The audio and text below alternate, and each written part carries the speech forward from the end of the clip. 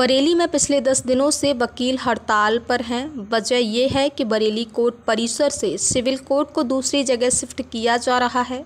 Civil court दूसरी जगह shift ना हो, इसको लेकर वकीलों ने हड़ताल कर रखी है। आज हड़ताल के दसवें दिन वकीलों ने जिला की सभी तहसीलों में हड़ताल करने का आह्वान किया था। वहीं वकीलों ने आज तहसील के गेट पर ताला ठोक दिया। एक घंटे के बाद ताले को बार अध्यक्ष अरविंद श्रीवास्तव ने खुलवाया, वहीं वकील अभी भी धरने पर बैठे हैं। उनका कहना है कि हमारा विरोध जब तक जारी रहेगा, जब तक कोर्ट को शिफ्ट करने का डिसीज़न खत्म नहीं किया जाता। उनका कहना है कि कोर्ट के बराबर में ही डीएम कार्यालय परिसर है, तहसील में काफ़ी जगह है, इसके अलावा और भी सरकारी कार्यालय कोर्ट के बाहर में है, वहाँ पर शिफ्ट करने पर वादकारों को कोई तकलीफ़ नहीं होगी। दूसरी जगह अगर कोर्ट को शिफ्ट किया गया तो सुरक्षा के साथ वादकारों को आने जाने में तकलीफ़ का सामना करना पड़ेगा। मैं श्री ओम जय मृत्युंजय मिश्रा एडवोकेट संयुक्त सचिव प्रशासन बरेली बार बरेली। हमारी मांगे आज लगातार ग्यारहवें दिन से चली आ रही हैं कि हमारे कोर्ट कैंपस से सिविल जो कोर्ट हैं, वो छः कोर्ट बाहर जा रहे थे।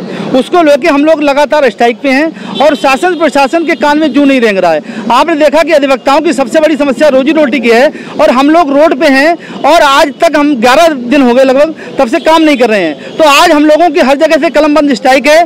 जितनी तहसीलें हैं, ज़िले में बहुत सारी बंद है, कमिश्नरी कोर्ट बंद है और ज़िले में बंद है। सबसे खास बात यह है कि हमारे अभी तक ना जिला जज महोदय ने ना हमारे डीजे साहब ने किसी व्यक्ति ने लिखित आश्वासन नहीं दिया है कि आपका कोर्ट बाहर नहीं जाएँगे, सिविल कोर्ट बाहर, कोर्ट कैंपस नहीं जाएँगे। आप देख रहे हैं कि हमारे कोर्ट कैंपस में इतनी जगह है, उसके बाद भी क्या आवश्यकता है सिविल कोर्ट को बाहर जाने की? पड़ोस में डीएम साहब की कोठी है, एम्प्लॉयमेंट ऑफ़िस है, सोल्जर बोर्ड है, अगर एडजस्टमेंट करना है तो यहाँ कर सकते हैं। दूसरे तहसील हमारी इतनी जगह है, तहसील में कोर्ट कैंपस आ सकते हैं। अब आप देख रहे हैं, अगर बाहर जा रहे हैं तो सबसे खास बात यह है कि बातकारियों को दिक्कत होगी। को क्या दिक्कत होगी? ना तो वहाँ स्टैंड की व्यवस्था है, ना ही वहाँ सुरक्षा कोई व्यवस्था है। और कचहरी को टुकड़ों में बांटने के लिए ये बहुत ही गलत चीज़ है। तो मेरा कहना यही है सभी लोगों से कि इस तरीके से इस तरीके से कोई भी बातकारी और जो अधिवक्ता साथी हैं वो परेशान ना हो।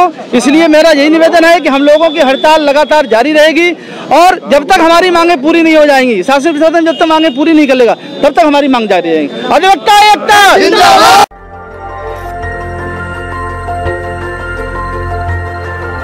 देखते रहिए डीबी भारती समाचार नज़र हर खबर पर।